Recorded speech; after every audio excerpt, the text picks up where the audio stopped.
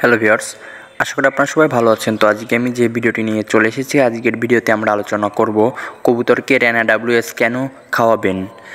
তো ভিউয়ার্স, চলুন আমরা চলে যাচ্ছি মূল ভিডিওতে। তো ভিউয়ার্স এই ভিডিওতে আমরা আলোচনা করব কবুতরকে র্যানা ডাব্লিউএস কেন খাওয়াবেন। কবুতরকে টিকা দেওয়ার পরে কবুতরকে র্যানা ডাব্লিউএস খাওয়াতে পারেন বা কবুতর ডিম পাড়ার আগে বা কবুতরের ডিম পাড়ার পরে কবুতরকে এই ভিটামিনটি খাওয়াতে পারেন।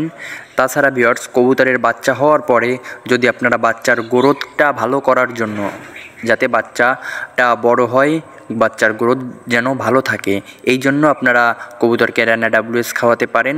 তাছাড়া কবুতরের কিডমির কোর্স করানোর পরে কবুতরকে এই র্যানা ডাব্লিউএসটি খাওয়াতে পারেন, ভিটামিনটি খাওয়াতে পারেন।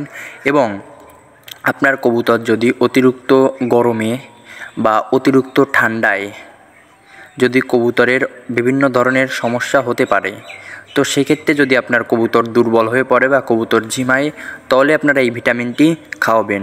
তাছাড়া এখন বৃষ্টি হচ্ছে প্রতিনিয়ত বা একদিন বা দুই দিন বা এক সপ্তাহে প্রতিনিয়তই বৃষ্টি হচ্ছে।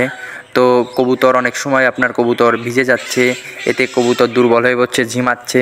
তো সেক্ষেত্রে আপনারা এই ভিটামিনটি প্রয়োগ করতে পারেন।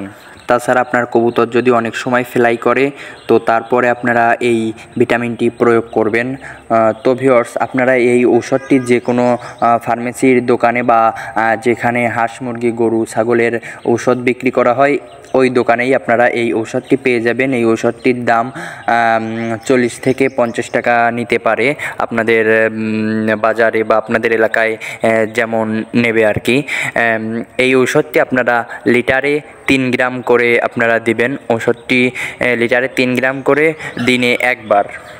দিনে একবার আপনারা তিন দিন খাওয়াবেন, পরপর তারপরে আপনারা একটি ভালো ফলাফল বা ভালো রেজাল্ট পাবেন।